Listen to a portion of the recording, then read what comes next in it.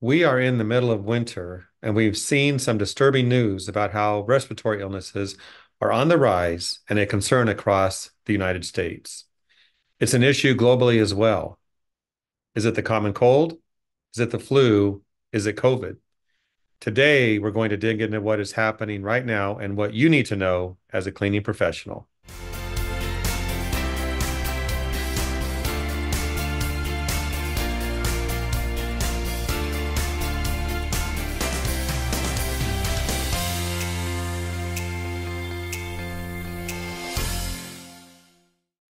I welcome Dr. Gavin Macgregor-Skinner, the Senior Director of GBAC. Gavin, welcome. Thanks, Jeff. Also, we have with us Steve Arehart, the Senior Director of Operations with GBAC. Steve, glad to have you. Thank you, Jeff. Great to be here. And last but not least, Dr. Roula Abdel-Massih, the Director of Product Development with ISSA. Rula, thank you for being here. Thank you, Jeff. I'm happy to be here. Great topic. Well, maybe not so great when we think about what it's doing to people, but an important topic to get into today. So, Gavin, we're going to start with you. What are you seeing right now, and what should we know and focus on? Well, as you said, Jeff, it is the winter months. Therefore, every cleaning company, every cleaning professional should be really following their cleaning protocols and procedures now for the winter months. And they are different compared to, say, summer months.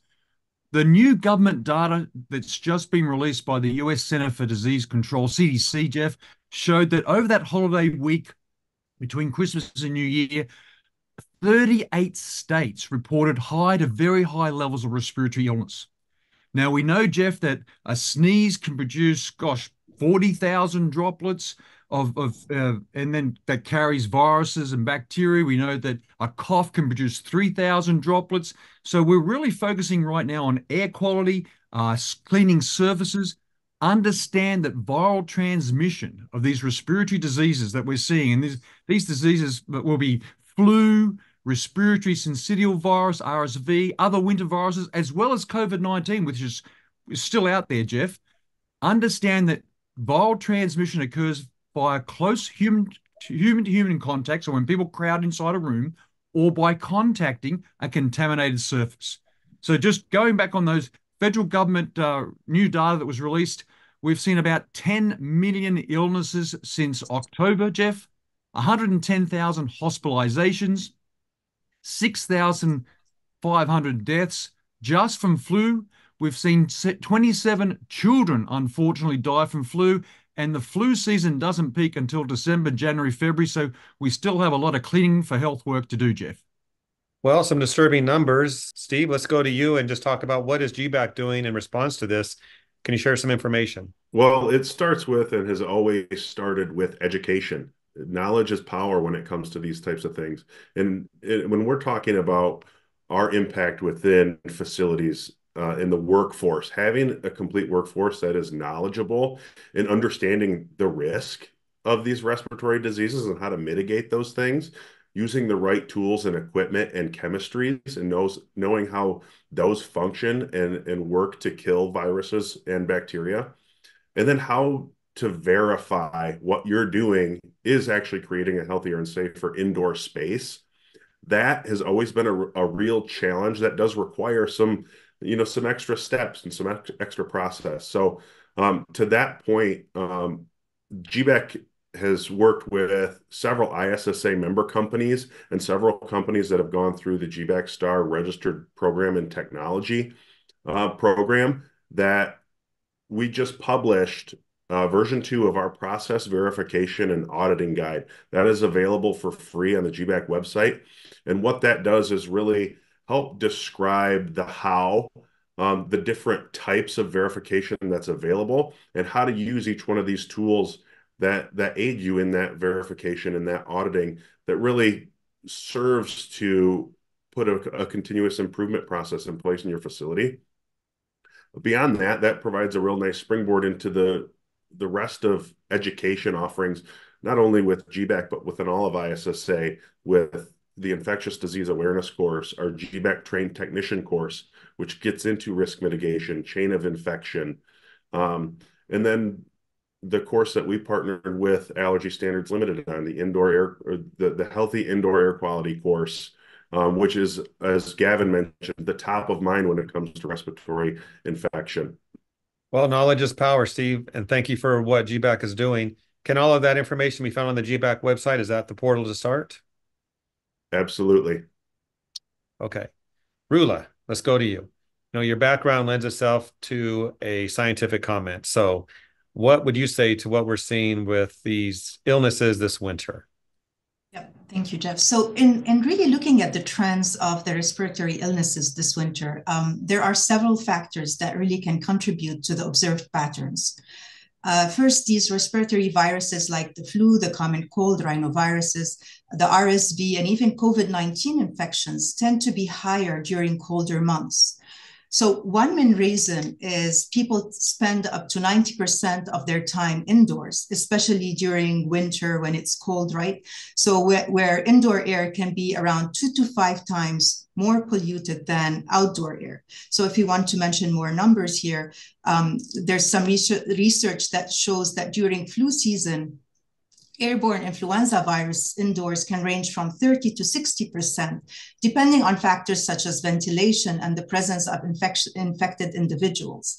Indoor surfaces may harbor even several hundred bacteria per square inch, again, affected by different factors. So this increased time indoors and often in kind of close proximity to people that might be sick, whether in, um, in at work, at home, in malls, and so on, creates a kind of environment which is conducive to the spread of respiratory viruses. Additionally, factors such as improved thermal insulation to reduce heat loss and limited ventilation in modern homes can contribute to the deterioration of indoor air quality, potentially adding to the prevalence of respiratory infections during colder months.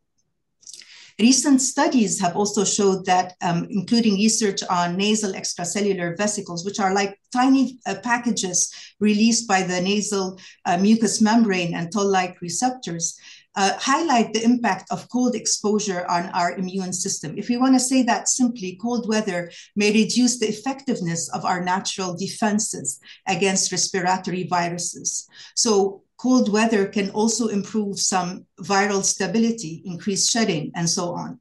So to sum that up, understanding the interplay between the environmental conditions, human behavior, and immune system dynamics is really essential when trying to make sense of the trends in respiratory illnesses. Well, I don't know about you guys, but while she was talking, I was buying my air ticket to go to my own private island. So scary, scary stuff, but important. Thank you, Roula, for that. Gavin, what type of facilities are most at risk? And what are your thoughts on how masks are again mandated by some areas? Some facilities. Oh, I hope I'm allowed to say this, Jeff, but I think everyone. Um, right now, we're seeing very high levels of respiratory viruses, all the viruses. But I think the GBAC team really wants to emphasize to everyone that the determination, especially in these winter months, of your cleaning procedures. Um, I think the biggest question we get is how often, the frequency. So the determination of your cleaning procedures, uh, frequency, method, and process, everyone should be taking a risk-based approach. And as Steve said, you know, our GBAC Star program actually has uh, areas there to help you and facilitate that process of doing risk assessments, using checklists, job aids for cleaning for health indoors, focus on the indoor air quality and the surfaces. But when it really comes down to it, Jeff, of the key, the probably the three key areas of doing a risk assessment um, for frequency um, is look at the probability of contamination, uh, heavily contaminated surfaces where people are coughing and sneezing and, and touching need to be cleaned more frequently. Uh, look at the vulnerability of the people within the, the indoor space. Not all of us are the same. Some of us uh, have underlying conditions. Some of us have asthma. Some of us have other other um, other situations such as allergies. So really be very mindful of the people that use the, the building that you're cleaning. Understand also that the potential for exposure to these germs, these pathogens that cause respiratory viruses, They we're not talking seconds, minutes, or hours, Jeff. They survive both in the air and on surfaces for days to weeks.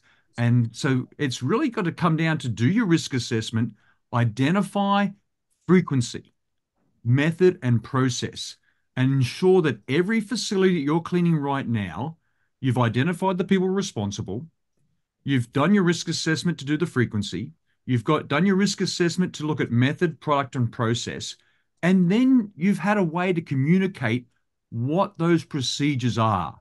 It could be through video, through a paper document, through just a, having a team huddle, a meeting, but ensure that everyone right now is following the correct checklists, job aids, and, and processes to clean for health. Well, why, as, as we've already mentioned, people are spending much more time indoors during those winter months. Exactly. I love how the three of you as as professionals sandwich the science with the practical. It, that's important because those watching this today, those that are our members, they need to know exactly what to do and the reasons to do that. So thank you for all you do. Roula, let's go to you next. I know uh, we've seen many winters. It seems that this type of news is typical. Winter brings the the flu, colds, and more. And you commented on the reason why this is, but why so much focus this year? Yeah, that's true, Jeff. So while winter typically sees an increase in respiratory infections, um, the current focus is heightened due to the concurrent circulation of, of all of these together, of the flu, the common cold viruses, RSV, and SARS-CoV-2. Um, I focused on Michigan because I, I live here, and, and we saw a kind of surge this December uh, in, in the numbers. So one thing to consider is after navigating a period dominated by uh, COVID-19 during the pandemic, individuals might now be more susceptible to the flu, uh, considering the potential waning of uh, immunity. This further emphasizes the importance of preventive measures and tailored strategies and highlights the crucial role that you, Jeff, and the media are doing in public awareness and education. This is really very, very important. So prevention is the key, correct? So there are different things that we all need to do as a team uh, that we're doing at ISSA, at GBAC, uh, all of us together. So vaccination campaigns really play a pivotal role in mitigating the impact, particularly in reducing severe outcomes and preventing co-infections. In a recent advisory, the CDS, uh, the CDC, sorry, alerted healthcare professionals to low vaccination rates this season against the, the flu, COVID-19, and RSV. Um, so, so that's something uh, very important to kind of uh, kind of be careful to. Another thing, indoor air quality interventions are important uh, due to the potential for airborne transmission of respiratory pathogens in enclosed environments. Uh, another thing to kind of, and, and Gavin kind of touched upon that point, is to highlight the importance of the cleaning industry. It has a major role in public protection, uh, promoting proper hygiene practices, ventilation, the use of um, filters, air purifiers, and so on. So it's a combination of different things that uh, we need to kind of uh, work on. The, co the coexistence of all these viruses emphasizes the importance of really maintaining a robust public health infrastructure to mitigate the impact on individuals and the healthcare systems. Uh, I would end really by saying that scientific scrutiny is really required to understand all these complex interactions and transmission dynamics of these respiratory viruses uh, during this uh, really winter season. Yeah, well, thank you for that. Steve, I want to go to you next and talk about building confidence and building occupants because when when we have when buildings are being cleaned and they're safe and healthy, does everyone know about that? You know, that's important to to bring people to the office to make them feel good about being there. Can you comment on the ongoing importance of accreditation and certification and how that will help contractors and facility managers? Sure, Jeff. The our GBAC Star accreditation since 2020 has been able to serve over 4,000 facilities worldwide.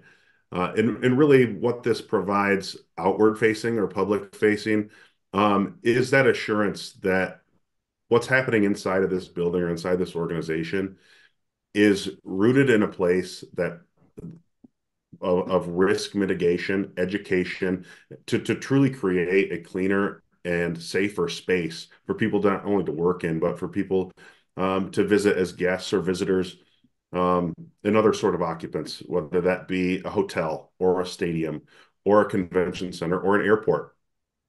And and really this accreditation is still built on on the same principles of education, continuous improvement, well-written standard operating procedures, and process verification.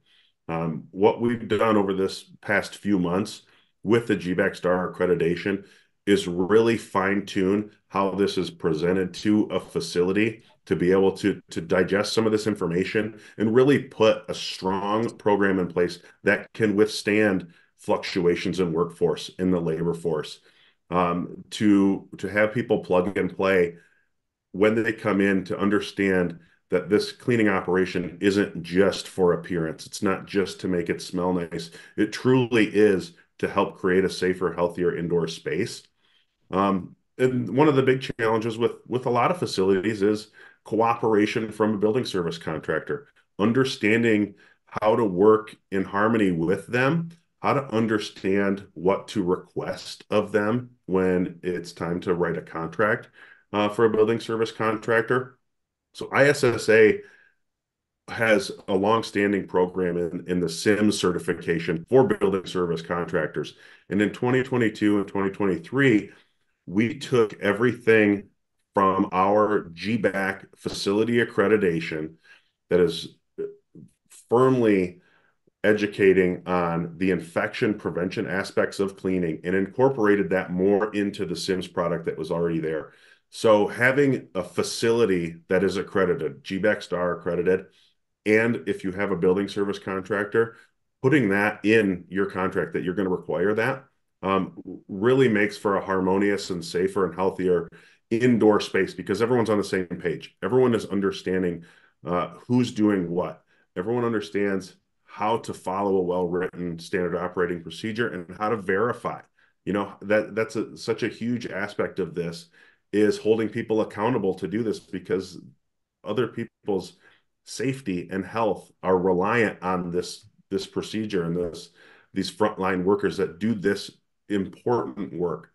And, and so having these two things in harmony um, or just GBAC Star if you are are if you do your cleaning in house it's that education it's that buy-in top to bottom in a facility um, to to really create this this ecosystem within those four walls uh, where people can really have that confidence. Yeah, we're really focused here at ISSA and again through our GBAC Star program to help everyone be more data driven, to focus on scientific principles, to focus on evidence, to ensure that what you're doing in the many buildings that you clean actually works there's a return on investment. And I think the one key area that we have to ensure everyone understands for this winter season, this season that runs from like October to March every year, we see high levels of respiratory virus.